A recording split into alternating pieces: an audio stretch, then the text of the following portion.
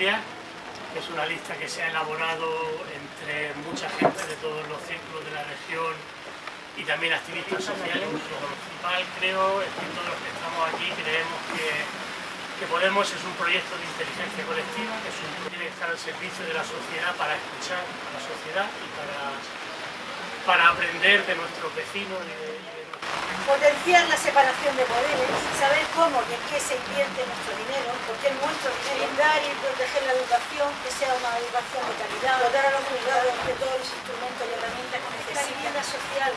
Sea un derecho social protegido para todos, convertir a la región de Murcia en una región libre de dependencia competente y asistencial. De los medicamentos genéricos que a mi entender como enfermera Dotar de medios los hospitales, los centros de salud, acortando las listas de espera. Es una vergüenza que se tenga que estar esperando 6 o 8 o 9 meses para no, una cierre y la privatización de los hospitales. ¿Cómo es posible? ¿Cómo es posible? No se puede ser.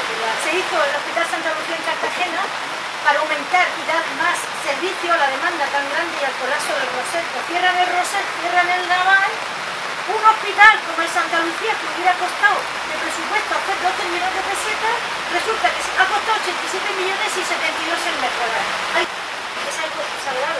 Nosotros, dentro de Podemos, somos una lista de gente diversa, de distinta edad y procedencia, unidos en un mismo fin, que es hacer de nuestra región un territorio justo, socialmente, progresista y con cimientos sólidos para nuestro futuro, de nuestros hijos, son los hechos los que nos definen, no nuestra titulación o currículum, que también lo hay. Por eso el objetivo es que el ciudadano se implique y entienda que su municipio es suyo, que su pueblo es suyo y su región es pertenece.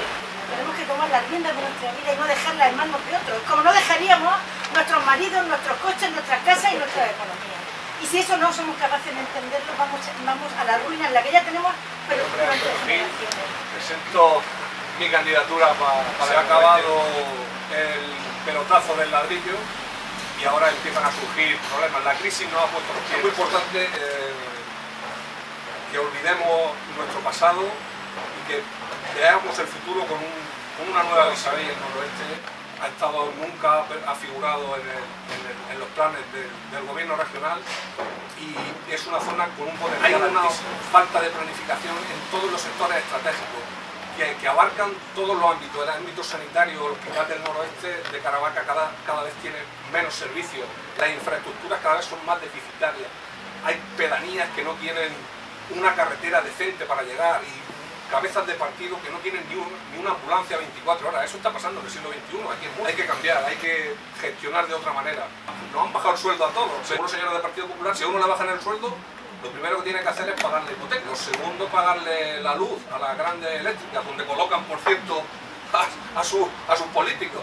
Y el agua, por supuesto, que no puede haber ciudadanos sin agua o llenando, como he visto algunos jubilados en la gasolinera, la gasolina farmacéutica. Eso pasa en el siglo XXI, en la Murcia que nos venden los señores del Partido Popular.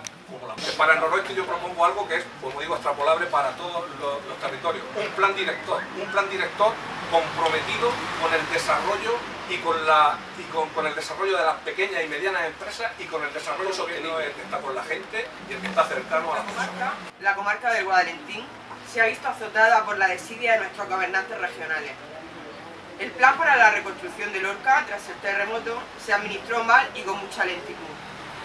Hasta los militantes del PP se sentían abochornados por la gestión y aún tras cuatro años hay muchos problemas por resolver y poca voluntad política para hacerlo. Nuestra comarca depende excesivamente de una agricultura que a menudo se basa en la explotación salvaje de la mano de obra, en la explotación medioambiental. Necesitamos diversificar nuestra economía, pero no con proyectos fantasmas que dejan en ridículo a la comarca y a sus gobernantes, como por ejemplo la finca del Churtal en Lorca o el Parque Páramo en. En la agricultura necesitamos mucho más cooperativismo, pero no solo para la comercialización agrícola, en lo que somos un buen ejemplo, sino también para la producción agrícola. Nuestro campo tiene que ser más moderno, más humano y más racional. En nuestra comarca nos falta infraestructura urbana de calidad. Nos faltan servicios de limpieza integrales y eficientes. Nos falta acceso a las nuevas tecnologías móviles para el turismo. hay que pasearse por las calles de otras ciudades y pueblos en Andalucía o en Alicante, e incluso en otros lugares de la región para ver el grado de dejadez que sufrimos. Tiene futuro. Tenemos polígonos industriales que tienen espacio disponible en nuestra comarca y tenemos un enorme, un enorme capital humano en nuestra región. Pero hace falta un gobierno regional serio, un gobierno capaz de generar la confianza de inversores extranjeros, un gobierno ambicioso, un gobierno que ponga en marcha proyectos de nuevas tecnologías, de energía limpia, de ecología agrícola, un gobierno que colabore con empresas privadas y centros de investigación, que traiga más centros universitarios a la comarca, que nos conecte mejor por ferrocarril con Andalucía y con Murcia, para que así nuestra comarca se suba al tren del progreso que lleva parado muchos años. Y nuestra comarca tiene espacio para albergar universidades La fundamental ha sido de Marino de, de Alarmada por cierto, que me lleva una alegría que también ha sido marino de la Armada. Yo soy del Altiplano, me llamo Jesús, estuve en la JOP, una organización juvenil cristiana que en los años estuvo haciendo muchas cosas, después estuve trabajando también en la OA. Yo mis últimos años he estado trabajando pues con prostitutas, con los delincuentes, con jóvenes delincuentes, con gente que ha tenido escasos recursos para poder ser personas. La ley de renta básica la tengo muy en casa, muy concretica, muy específica, como se debería de hacer. Eh, ofertas de trabajo también tengo muy concretica y con planes de trabajo de menores de 16 años. Al centro del círculo. A mí me gusta pensar que, que ya estamos aquí en un círculo, ¿no? que de hecho, de hecho estamos, ¿no? estamos en un círculo. Y, en la página web de Podemos aparece una cabeza de lista porque así es como ha decidido el comité electoral que salió elegido la Asamblea Vistalera que hay que presentar las listas y las listas se presentan con mi cabeza. Eh, y bueno, es esa persona. Eh, yo somos un equipo de trabajo y, y, eso es lo que nos ha llevado a presentar esta candidatura. Somos, somos un grupo de gente que cree en la forma de trabajar que surgió desde el principio Podemos, la forma de trabajar que hizo que Podemos apareciese y apareciese como algo completamente nuevo e ilusionante para muchísima gente que o había perdido la ilusión por la política tradicional, por, por todos los problemas de corrupción, por la falta de representatividad, por la falta de democracia interna y externa, por la falta de atención a la demanda ciudadana, eh, por la tradición de los principios constitucionales y de los principios democráticos y, otra mucha gente que a lo mejor nunca había, había estado interesada en política porque no le gusta el poder. Las decisiones inteligentes, los procesos de mejora surgen del trabajo de todos, surgen de la inteligencia colectiva que surge de sentarnos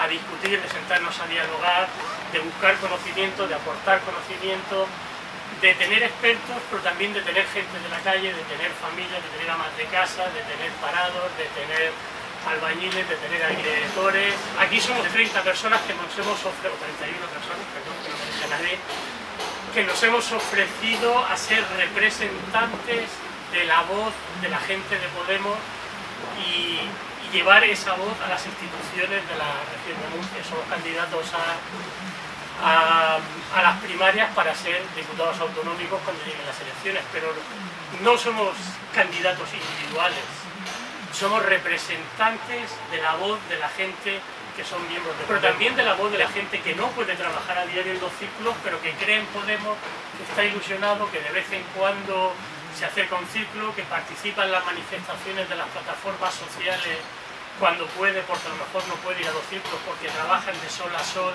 y no tenemos cuatro pilares sobre los que se basa un poco nuestra, nuestra apuesta como candidatura. Eh, el primero sobre el que estaba hablando ahora mismo es la democracia, la democracia real, la democracia radical. Es decir, estamos hablando de que el, empoderamiento ciudadano, es decir, el que los ciudadanos tomen conciencia de que ya no se puede dejar la política a otros, como, ha comentado Adela, de que la política somos todos, eh, es fundamental. Es decir, no solo los que estamos aquí, no solo los círculos, no solo los 10.000 de Podemos, sino toda la ciudadanía de la región de Murcia tiene que tomar conciencia de que políticas somos todos. El segundo pilar, por supuesto, es la transparencia. uno de los grandes errores de nuestra democracia, uno de los grandes dramas del, sistema del 78 es que todo se hizo de espaldas a la ciudadanía, empezando por la Constitución, que aunque luego se llevó un plebiscito y se, votó plebiscitariamente sí o no, esto o el caos, la transparencia, el tercer pilar de nuestra candidatura es la ética radical. Es decir, cuando se llega a las instituciones se llega a servir y se, y se llega con un compromiso ético. No me voy a beneficiar nunca jamás de los años que pasen en la política, ni de los años posteriores a que salga de la política. Y el cuarto, el cuarto pilar del que ha hablado un poco Jesús es el rescate ciudadano. Si seguimos viviendo en una sociedad con esta desigualdad, si seguimos viviendo en una sociedad que deja de lado al 30%, si seguimos viviendo en una sociedad en la que hay muchísimos ciudadanos que no cuentan, que lo están pasando fatal, que no tienen voz, que no tienen, que no tienen para comer, aunque como dice él, no sean pobres porque potencial tienen y ganas de trabajar tienen, lo que no tienen es la oportunidad, la oportunidad.